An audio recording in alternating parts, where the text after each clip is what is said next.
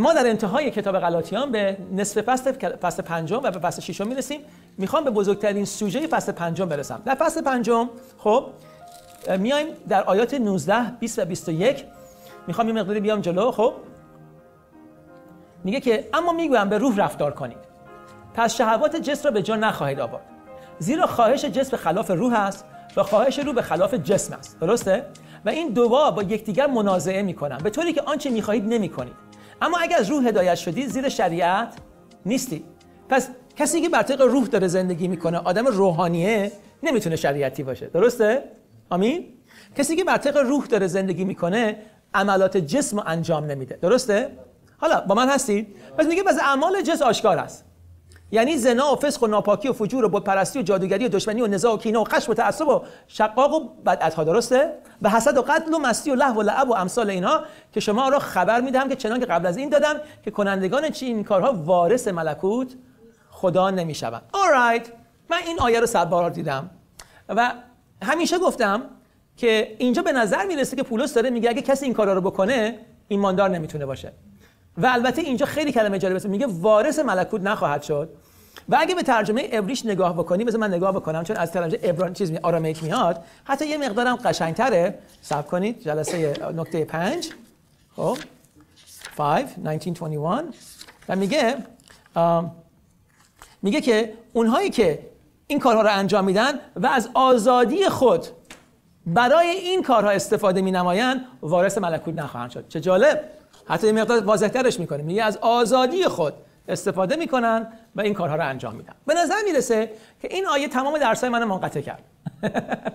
چون به نظر می‌رسه میگه کسی که میاد این آزادی ها رو داره درسته؟ و بعد میاد و از این آزادی ها اینجوری سو استفاده می‌کنه درسته؟ آخر سرش وارث ملکوت نخواهد شد. خب اوکی. بریم شرح بدیم. دو نکته خیلی مهم. همه چیز رو در متن بس نگاه کنید درسته؟ نمی‌تونیم آیات 19 20 21 رو بکشیم بیرون از کتاب غلاطیان خب؟ برای خودشون آیه کنیم که خیلیا می‌کنن. خیلی آیه ها رو می‌کشن بیرون از کلام. سه تا آیه از اینجا دو تا آیه از اینجا پنج تا آیه از اینجا به هم دیگه وصل می‌کنن تئولوژی درست می‌کنن. نویسنده این نامه داره یه نامه می‌نویسه متن همه به هم دیگه وصله. آقا آیه بندی که نکرده پولس درسته؟ تمام سوژه قبل از 19 20 21 چیه؟ شریعته.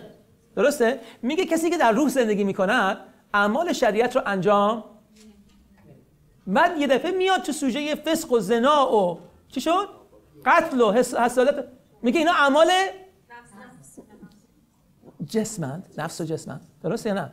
بعد درست آیه قبلیش برمیگرده میگه کسانی که در روحند اعمال شریعت یا اعمال جسم رو انجام پس داره چی میگه؟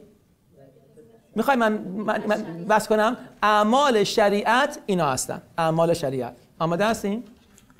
اعمال شریعت فسق ناپاکی فجور بتپرستی جادوگری دشمنی نزا و کینه و خشم و غیره هستن. مت داره اینو درس میده. چون داره درباره اعمال روح درس میده خب؟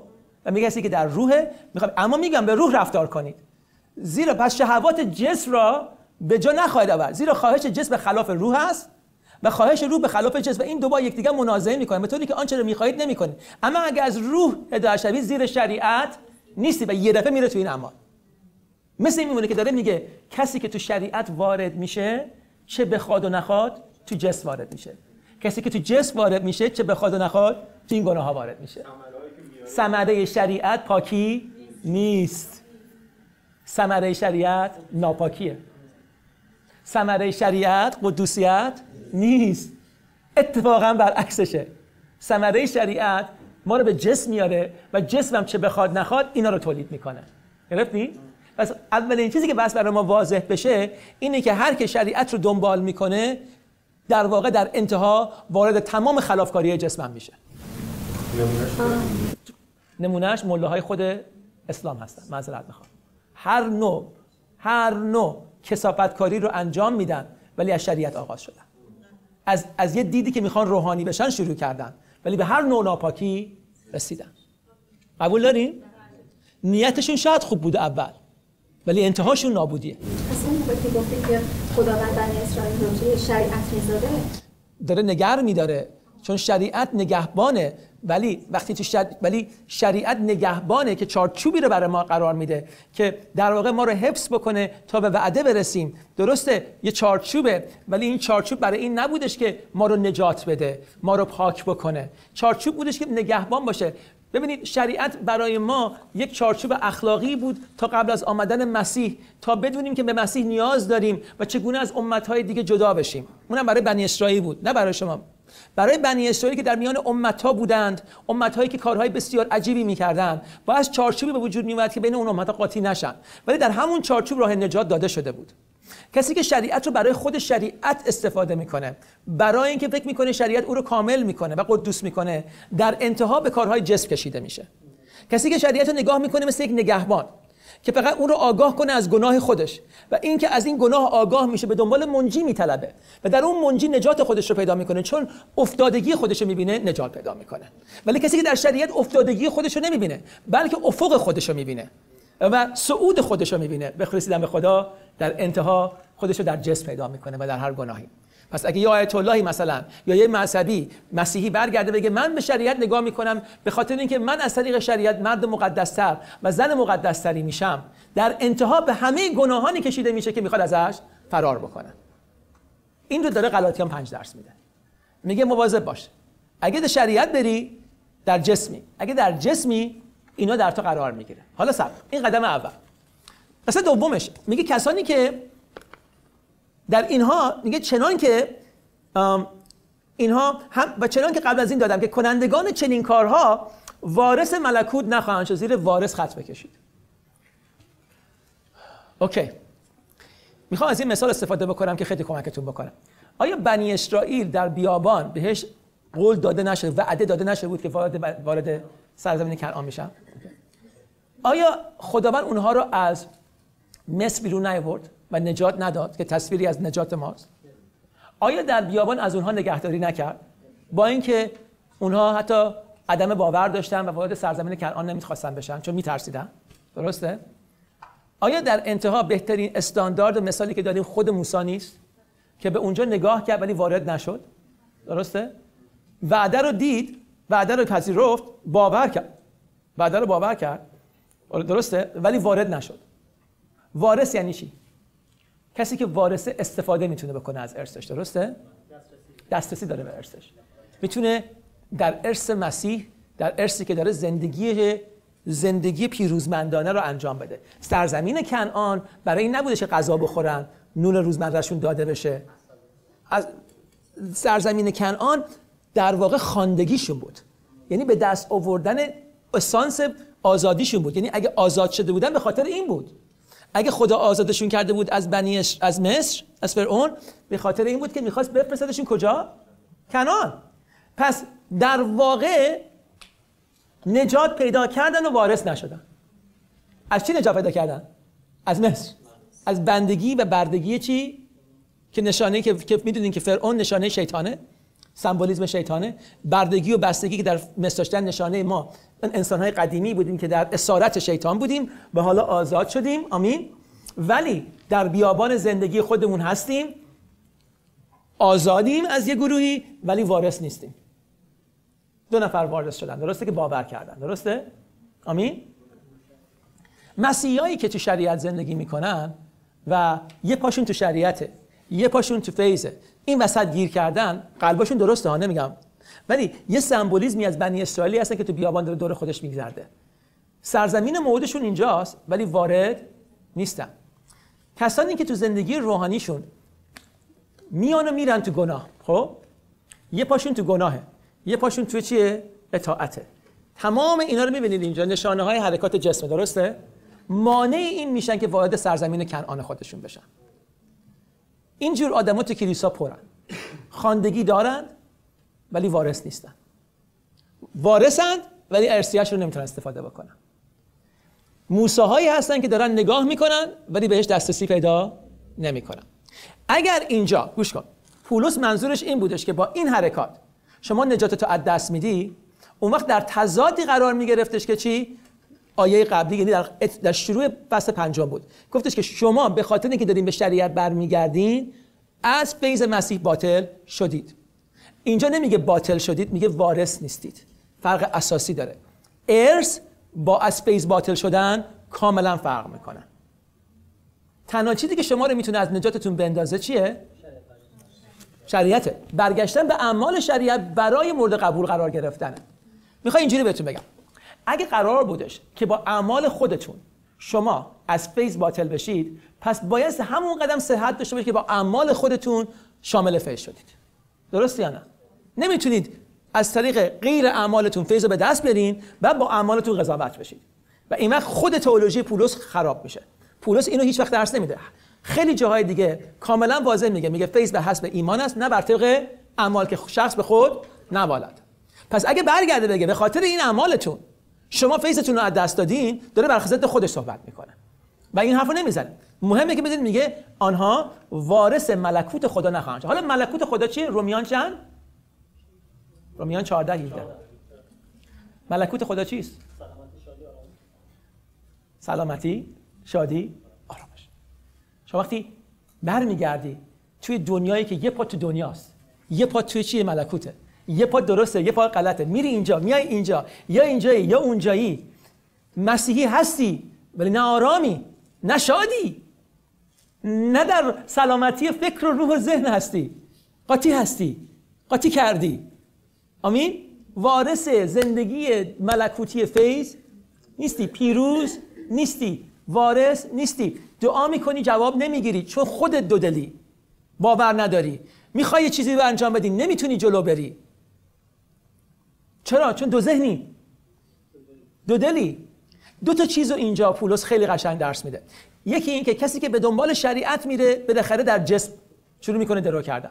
و کسی که در جسم درو می‌کنه متوجه هستی هم چیه؟ وارد اون ارسیه ملکوت خدا هم نمیشه. یعنی کسی که شریعت رو دنبال می‌کنه به تمام گناه هم کشیده میشه. آخرم تمام اون ارث ملکوتو که سلامتی شادی و صلح و آرامشه یعنی شالوم خدا هستش هم شاملش نمیشه. Righteousness peace and joy. خب؟ خب پس آخر سر چرا ما فیض رو درس میدیم؟ ما فیض رو درس میدیم به خاطر اینکه فیض در اتمام به روح کشیده میشه.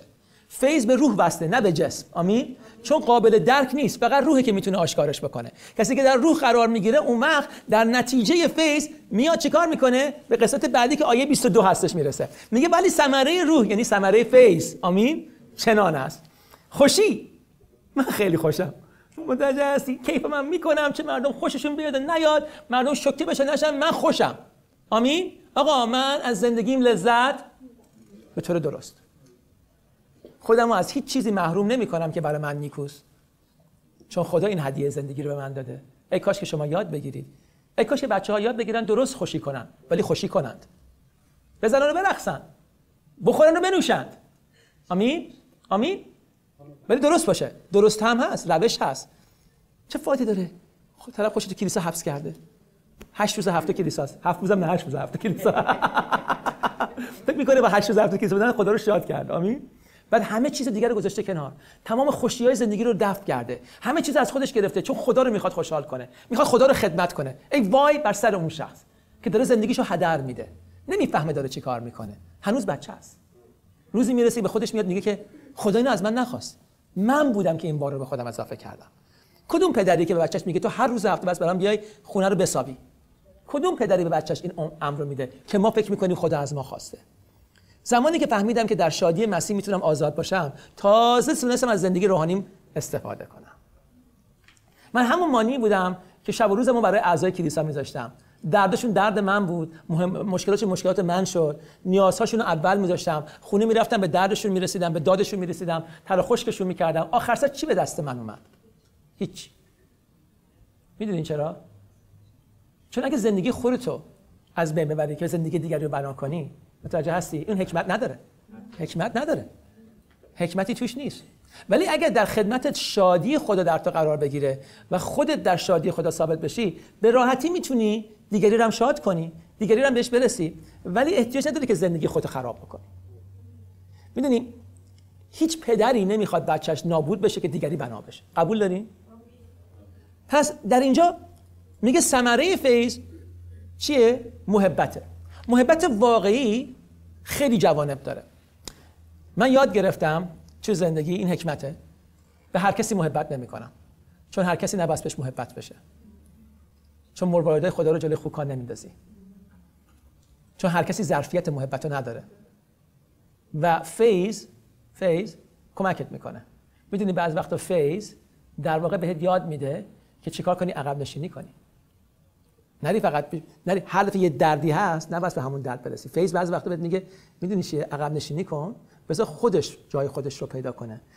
مثل یه پدری میمونه که بچهش میگه الان الان دخالت نکن. بذار به حال خودش باشه ببینم چی کار می‌خواد بکنه.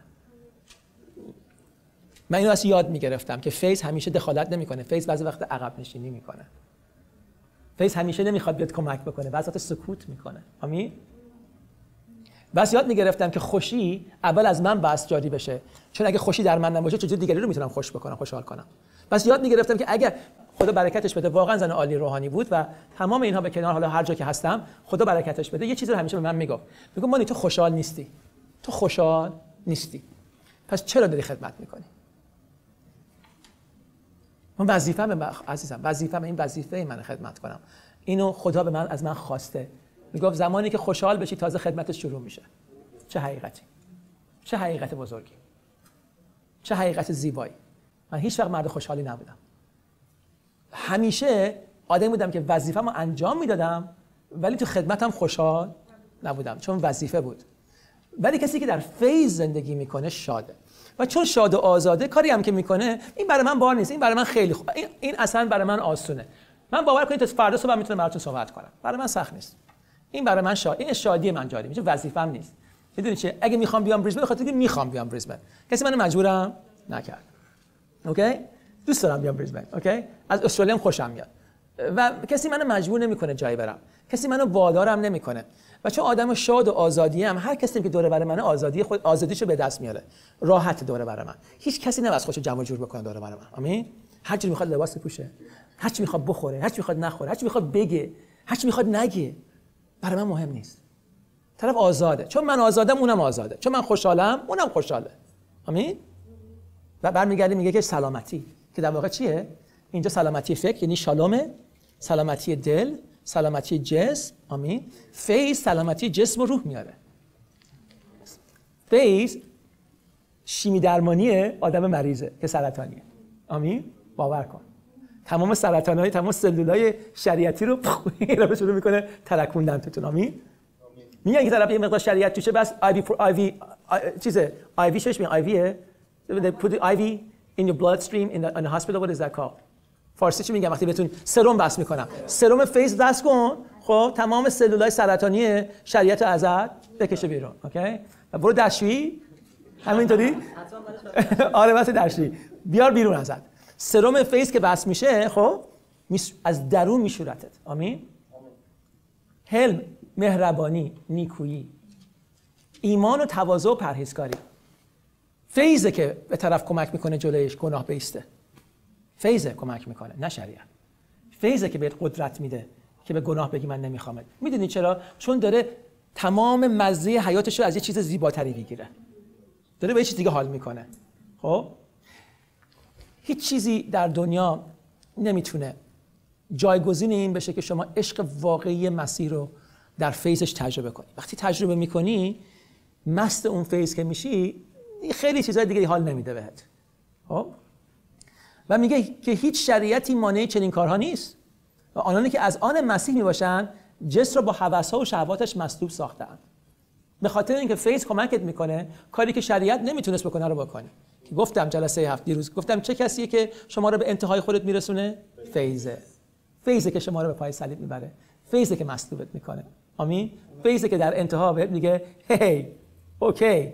زیادم اون کاری که فکر می‌کنی نیستی. خیلی هم به خودت نگاه نکن که کم کاری هر کسی هستی. هر چیزی هم که داری از منه. هر چیزی هم که هستی از منه. آروم باش. کاری هم اگه نکنی اوکیه. ولی اگر می‌کنی هم باز اوکیه. اصلا هر کاری می‌کنی از ته دلت بکن. اگرم نکردی اوکیه. من با تو اوکیم. ای. یعنی بعد می‌بینی که خب یعنی من نمی‌تونم کاری بکنم بزرگتر بشم. نه کاری می‌تونم بکنم کوچیکتر بشم. نه با انجامش می‌تونم محبوبتر بشم نه با عدم انجامش می‌تونم دورتر بشم. من هر کاری هم که می‌کنم من همونی هستم که همیشه خواهم بود. پس آروم می‌گیرم و از زندگیم لذت می‌برم از ملکوت خدا لذت می‌برم و آن کاری هم که می‌کنم از ته دلم می‌کنم چون می‌خوام بکنم. بنابراین هر کاری هم که می‌کنم میشه چه آزادانه می‌کنم. این وظیفم نیست. اگر فردا هیچ وقتی که بریزبین نیومدم خدا خوشحاله.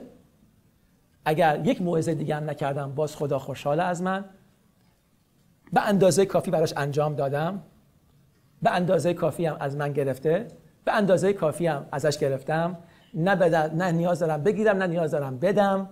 چون بچهشم آمین. رابطم باهاش درباره گرفتن و دادن نیست. رابطه من رابطم هستش. آمین. من در این رابطه من در رابطه قرار گرفتم. من در رابطه قرار گرفتم که رابطه پدر و بچه است. بنابراین هیچ چیزی در این رابطه نمی‌تونه بیاد خرابش بکنه. به جز من اگه من برگردم و انکار بکنم که اون بابای منه. همون شد که انکارم نمی‌کنم. اون همیشه پدر من خواهد بود. آمین. پس در انتهای درسمون سه دقیقه آخر که داریم ما سعی کردیم که در کتاب غلاطیان فیض رو ببینیم و بعد شریعت رو ببینیم. فکر کنم تونستیم یه ابعادی از شریعت و فیض رو باز بکنیم که عمیق بود. فکر کنم که غلاطیان رو تونستیم تا یه حدی بیشتر بهش هویت و مفهوم بدیم. امیدوار هستم که بعضی از این ترس های فکر یا این تئولوژی ها براتون باز شده باشه. یه چیزی از معماها یا رمزهای کتاب مقدس رو. سعی کنید هر چیزی که در کتاب مقدس می‌بینید و از دید فیض ببینید. یکی از کلیدهای اساسی درک کتاب مقدس اینه که خدا پدره. و چون پدره هر کاری رو که می‌کنه بر طبق فیض و محبتش می‌کنه. یعنی هر اتفاقی که تو زندگی یک ایماندار میافته که زندگیش در بر طبق زندگی روحانی یک مرد و زن عادله بر طبق محبت خداست. خوبش محبتشه اتفاق بدش هم باز به خاطر محبتشه. این رمزشه. چون خدای ما قادر در فیضش همه چیز رو در انتها برای نیکویی برای آنانی که به او اعتماد ورزیدن و در خواندگی او قرار گرفتن انجام برسونه. The Lord is going to make all things work for good for those who love him and are called according to his promise. آمین. پس اینو یاد گرفتم که فیض منو هم می‌کنه. با فیض زندگی می‌کنم، با فیض راه میرم، با فیض فکر می‌کنم، با فیض دریافت می‌کنم، با فیض هدیه میدم، با فیض برخورد می‌کنم. آمین. آزادیم با فیضمه. محدودیت هام رو همه رو از من برداشته فیض من با فیض ریسک می‌کنم و اگه قراره با فیض ریسک بکنم بهتره که با فیض ریسک بکنم. چون فیض خدا ریسکش میارزه. آمین؟ حاضرم با فیض اشتباه بکنم بعضی وقتا. ولی می‌دونم چون اشتباه بکنم باز فیض همیشه منو میبخشه. آمین؟ من حاضرم حاضرم با فیض جایی برم که قبلا نمی‌رفتم. آمین؟ جاهایی برم حرفایی رو بزنم صحبتهایی رو بکنم. چون می‌دونم حتی اگر اینجا ببینید حتی اگر اینجا اشتباه هم کرده باشم می‌دونم فیض خدا برای من هست. چون دل منو می‌دونه چیه. می‌دونه بچهش می‌خواد بچهش می‌خواد اون فیض رو درس بده. پس میبخشید منو اگه اشتباهی کرده باشم؟ منو ببخشید اگه درسی رو بهتون بدم که در آینده به این نتیجه برسید که بعدمانی اشتباه درس داد. هدفم چنین نبود. ولی حاضر بودم برای خدا ریسک بکنم. حاضر بودم کلیسا رو چیکار بکنم؟ کش بدم. به قول اون کشه هست. چی میگن کشه چیه؟ نه فکر نکنم کش تومون باشه. نه آره دیگه کشه می‌دونیم بعضی چیزا هست که آدم می‌کشه خب؟ سم. چه مثال خوبی. ما دیروز تیر درست پیش تیرکمون زدیم درسته؟ اوکی. تیرکمونی که می‌خوای بزنی باید اون چیز کنی اون تناب اون چیزا اون سیمو بکشی. هر چقدر بیشتر بکشی اول خیلی سخته.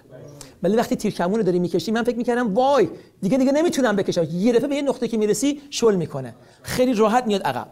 اول اولش که تیرکمون رو می‌خوای بزنی اون اون دو سه سانت اول مثل که داری خودتو می‌کشی عضله ها داره میترکه. بعد که یکم به عقب می‌کشی یه دفعه آروم می‌کنه به راحتی همش میاد عقب. هر چقدر که این تیر یا این تیرکمون اولش سیمش سفت‌تر باشه پرتابش هم چیه؟ بیشتره. okay؟ توی فیض وارد شدن مثال اون تیر کمونه اولش خیلی بس باش کشمکش بکنی. اولش مثل اینکه داره فکرتو منفجر می‌کنه. تمام اصول گذشته باید زیر سوال قرار بدی. این دو سانت اولی که بعد قدم برداری داره میکشته. ولی یه دفعه برات آسان میشه. یه دفعه میاد چی؟ آ؟ عقب. و خیلی چیزا رو یه دفعه اینجوری اولش سخته و یه دفعه که به یه نقطه می‌رسی مثل یه دونه بارونه مثلا سیل آسار رود همینطوری حقایق مختلف لایه به لایه گذاشته میشه. خب؟ بعد آماده ای که پرتاب بشی. تازه خدا می‌تونه از استفاده بکنه. مثل یه تیرکمون. که بری بزنی دشمن نابود کنی. من الان یه سلاح اتمی هستم بر ضد شریر. چیزایی که ما درس میدیم ملکوت شریر رو نابود می‌کنه. برای همین برای من اوایل شنیدن درس های فیض من در اولین باری که درس فیض رو از یکی گرفتم مخم ترکید. یعنی علنا اومدم خونه هرمز با هم بود. من و هرمز با هم دیگه رفتیم. وقتی داشتیم روز سوم مهیارم با ما بود. روز سومی که کلاس بودیم مهیار گفت آقا من دیگه نمی‌تونم تحمل کنم. من دارم میرم خونه. رفت رفت خونه. من و هرمز به هم دیگه نگاه کردیم گفتیم هرمز من نمی‌دونم من مسیحی بودم تا الان یا نه؟ ولی الان به این نتیجه که من هیچی بلد نبودم. هیچی تو این 23 4 سال بلد نبودم. و نکته که خیلی برای من یه لحظه تعصب انگیز شد اینه که به خودم که اومدم گفتم من چی درس دادم تو این 24 سال؟ بعد یه دفعه خدا آرومم کرد. گفت اون چی که بلد بودی دادی. از ته دل دادی. و اونو من پذیرفتم. و اونم کمک کرد. ولی تو تیر کمونت حالا یه چیز دیگه بهم نشون داد اون موقع. سنگ گفت سنگی که انداختی زیاد دور نتونستی بندازی. و اون چیزی که تونستی خراب بکنی فقط چی بود؟ دیوارهای شیطان رو فقط تونستی ترک بدی. ولی حالا می‌خوام بولدوزرت کنم. حالا می‌خوام بولدوزرت کنم. حتی الان آماده شدی که بولدوزر بشی. ظرفیت تحمل این صحبت ها رو هم نداشتی. ولی الان داری. الان شما شما اون تیرکمونایی بس بشید که الان داری خودتو می‌کشی یه مقدار. من دارم کمکت می‌کنم اون دو سه سانت اول بیا عقب. الان دردت میاد. الان کشمکش داری الان سوال زیاد داری خب؟ ولی یه جایی که کمک کنی خودتو بگی من با این دارم میام جلو وقتی خودتو می‌کشی یه دفعه آسون میشه برات. یه دفعه هر چی که میشنوی بهت آره فهمیدم فهمیدم گرفتم گرفتم. آره اوف همش آسون یه دفعه میای بعد یه دفعه میگه خدا میگه برو. حالا برو. عجیب نبود؟ وقتی تیرکمونه رها شد چنان با قدرت رها میشه طرف میگه میگه از 85 متری می‌تونی یه دونه گوز نو چیکار بکنی؟ بندازی. از 85 متری. از 85 متری. یه گوز رو می‌تونستی بندازی با این تیر یعنی شما سلاحی میشی برای دست خدا که شیطان می‌تونی از دور بندازی. می‌دونی فیض چی کار می‌کنه؟ فیض کاری می‌کنه که از دور می‌تونی شیطان بزنی. حتی نزدیکت هم نمی‌تونه بشه. چون ازت میترسه حسابی. جنگ می‌دونید تو جنگای جنگ جهانی دوم می‌رفتن توی حصارهای هم دیگه هند تو هند کامبت بهش می‌گفتن. یعنی چیز جنگ دستی نمی‌دونم دست به دست چی چی؟ تن به تن. شما نه بدی با شیطان تن به تن بشی. از راه دور. میزنیش okay؟ چون اسانس اسانس فیض اونقدر قویه که وقتی شیطان جلوی مسیح میومد هم فقط فرار می‌کرد. بعد مخشو می‌گرفت می‌گفت نه فرار نکن می‌ذارم جلو خوکا. طرف می‌گفت ازت استدعا می‌کنم منو بیر... چیز من می‌خوای بیرون بندازی تو خوکا بنداز. یعنی کار به رد و بدل صحبت دیگه نرسید. تن به تن نبود. طرف فقط فقط استدعا می‌کرد نابود نشه. وقتی پر از فیض میشی تو جلسه نشستی تو کلیساتون نشستید داری موعظه می‌کنی داری پرستش می‌کنی دیوها میان بیرون. وقتی پر از فیض میشید مردم شفا تو همون صندلیا پیدا می‌کنن. چون روحی که در شما هست در کار اون موقع. دیگه احتیاج نیست زحمت بکشی. کارتو راحت کردی. چون روح رو آزاد کردی که کارش رو آزادانه در میانتون انجام بده. کار خودتو آسون می‌کنی با فیض. قربونت برم.